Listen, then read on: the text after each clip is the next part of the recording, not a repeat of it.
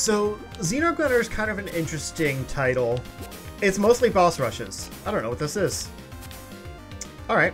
Uh, so, there's two different playable characters. Uh, one of which is the kind of more traditional uh, gun combat character, and the other is this. Oh, okay.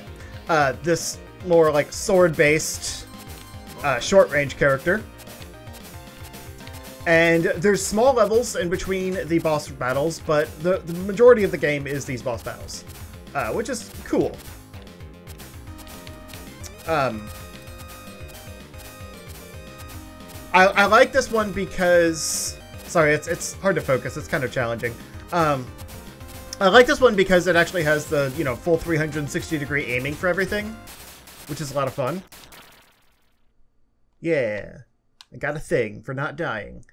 Um, so yeah, it actually like lets you, you know, move all the way around, which is cool.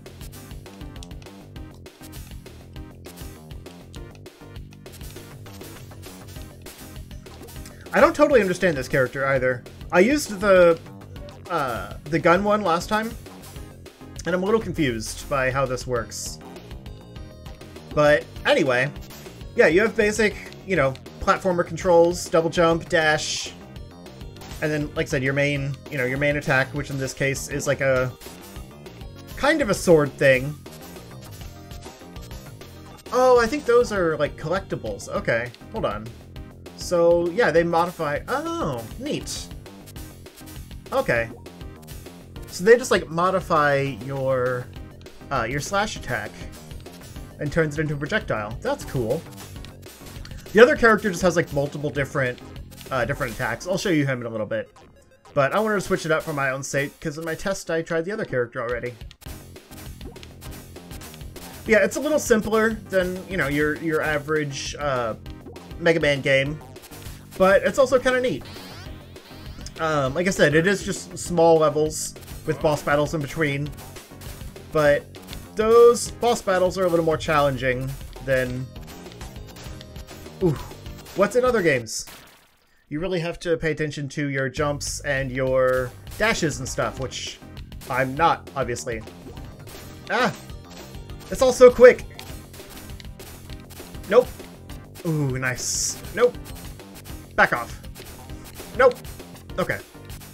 So yeah, it's, it's really just kind of, it's meant for speedrunners and stuff. Like there's actually, crap. There's actually an option where you don't have to have any of the cutscenes or anything. Uh, I want to escape out of here. I want to switch over to the other character real quick. Okay. So yeah, your other character is called Zeta. Uh, I was playing as, as Delta. So yeah, the, the same basic controls you still jump, double jump, dash, but, like, your default attack is a ranged weapon. It's quite a bit weaker.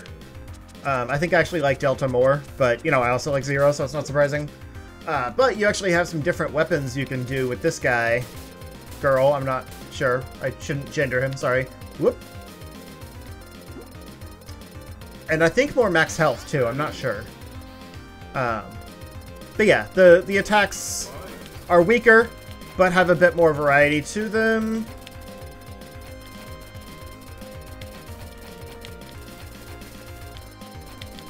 Up, up, up. Dang it. Alright. But you literally just like hold the directional pad, or hold the directional stick, I should say, uh, to do your attacks. Let's switch it up. Um, some of them do damage over time, which is kind of nice but are slower. There's some really strong ones. So there's some, you know, some nice variety to the attacks. But yeah, there's no, like, you know, shot button or anything. You just hold the direction and it automatically shoots out the amount of bullets that you have for that weapon. And, like, this one is kind of a boomerang effect. So it's neat to, like, bring hearts and stuff back to you. Uh, I tend to, to stick with the ice because I think it's the most effective just for, you know, knocking out all these random little enemies and stuff. There we go, that's a little better. Because it actually does some damage over time while I'm running away. Yep. Uh, the trickiest thing about this game is the controls are all like the, the shoulder buttons. So it's left shoulder to jump and right shoulder to dash. And then, like I said, you hold the um, the stick in a direction to shoot. But you change up your weapon type with the face buttons. So it's just, it's a weird control scheme. It works, honestly, um, but it's hard to get used to. I'll try this one more time and then we'll move on, because uh, I have shown enough of this. You kind of get the idea. Definitely gonna lose this one. Look at my health. Yep. Crap.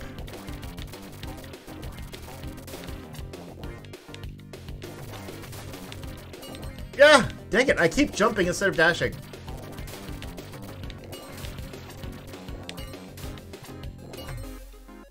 Okay. Uh, can I do it? Can I do it? Probably not. Nope. Alright. Yeah, we're done. But yeah, that's this one. Let's switch over to a different game.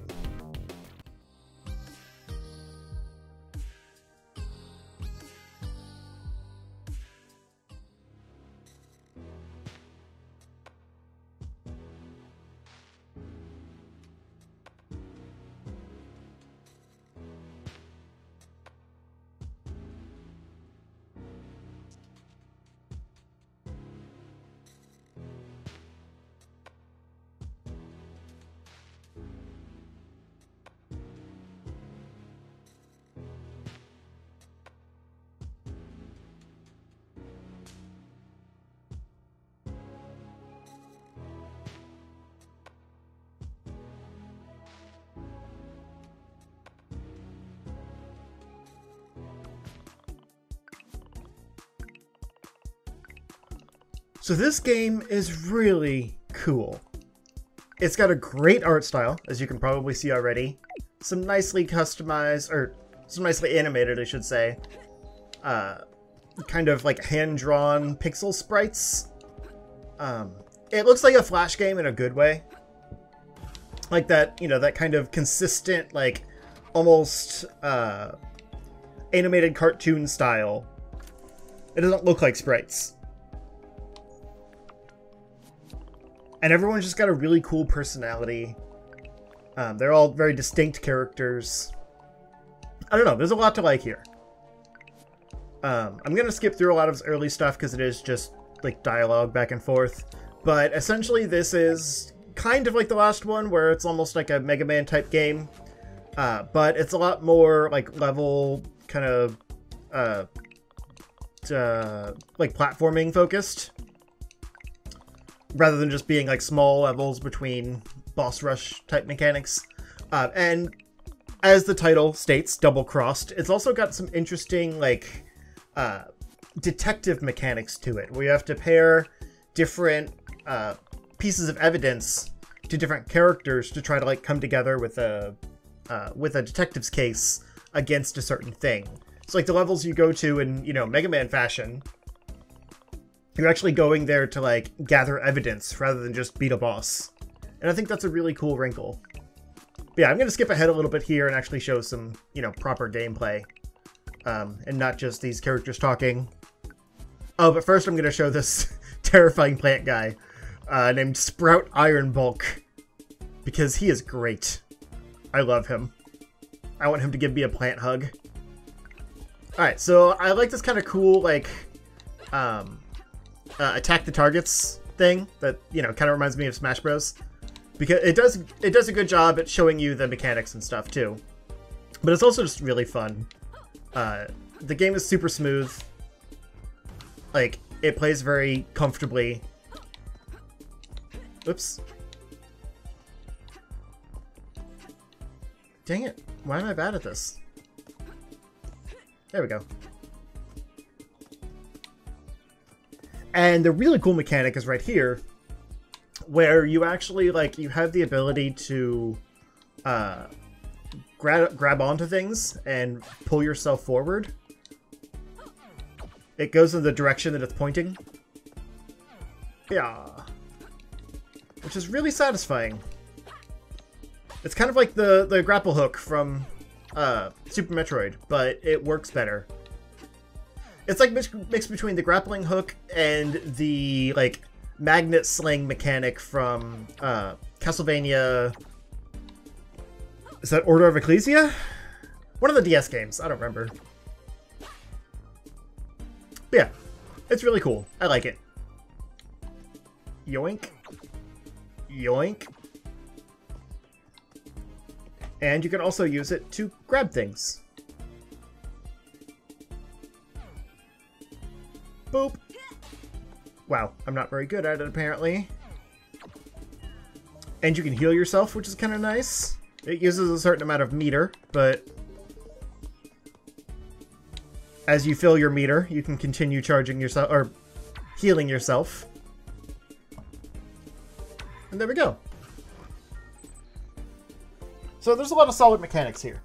Uh, oh, this is also one of my favorite things. Because... Dodge roll! Aerial dodge roll! Yeah, it's really cool. I like that. It really plays into the platforming when you could like just start jumping, aerial dodge roll, grab a, a sling thing, shoot your way up. It's got some satisfying progression. And here's Plant Guy again. So buff. Please, train me, Plant Daddy.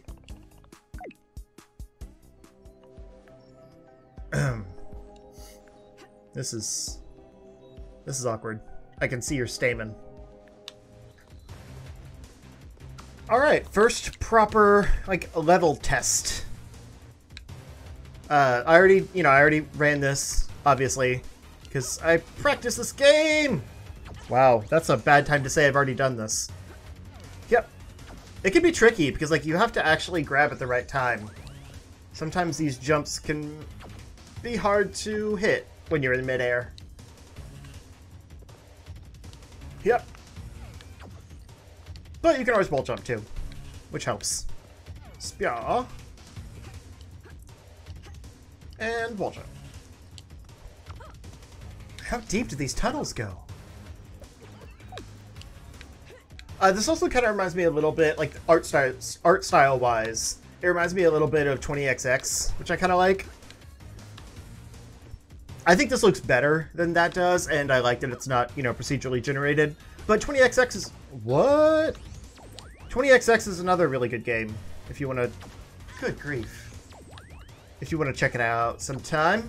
I've actually got some videos on it. I know I shouldn't be shamelessly promoting my other stuff right now, but it was, you know, it came up naturally in conversation.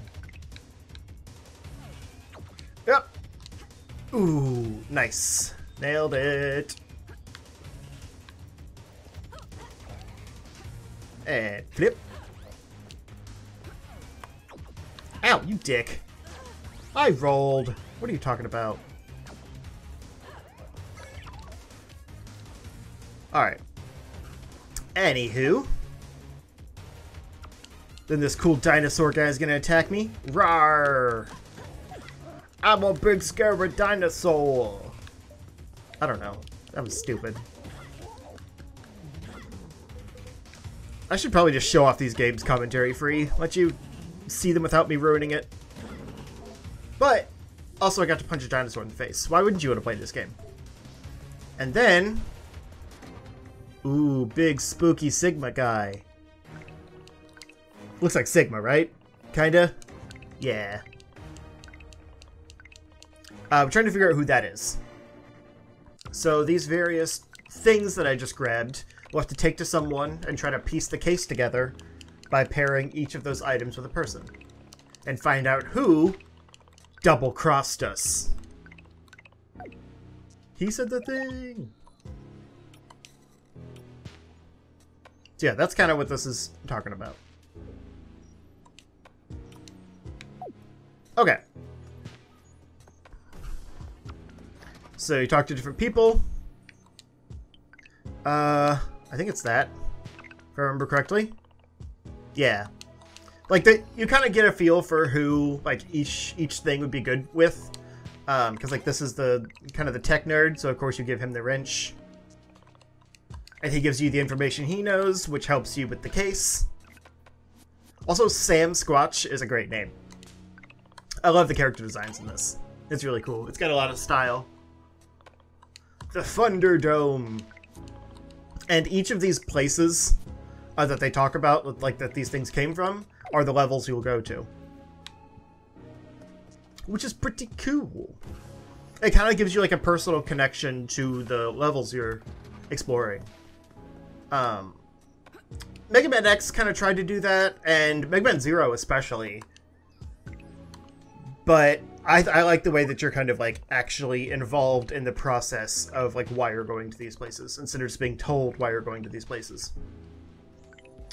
So, uh, let's do the Thunderdome. That sounds kind of cool.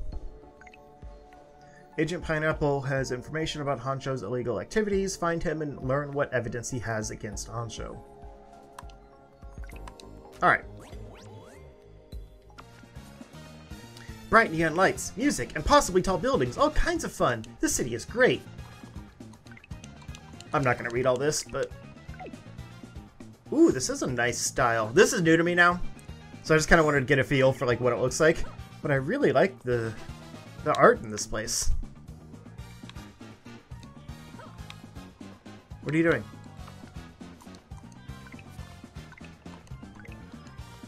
Yeah! Agent Pineapple! That's great. Master of Disguise. Wow.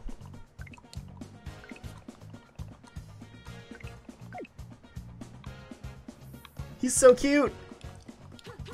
Punch.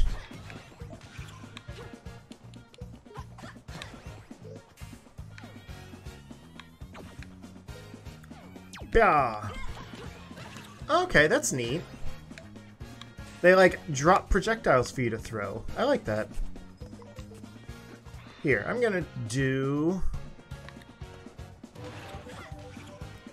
A special thing. Because I keep forgetting I have them. Alright, I don't actually know if they will ever stop attacking me.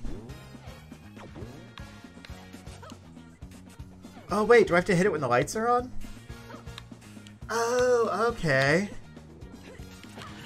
Smart. Wicked smart.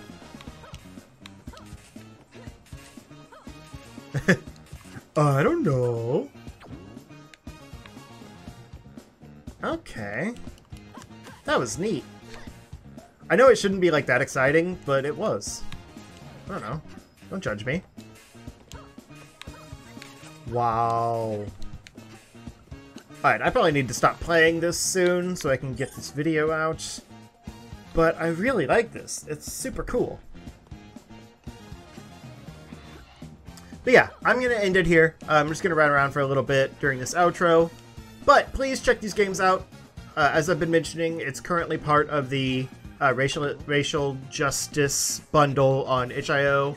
If it's not, when you read when you watch this, get the games anyway.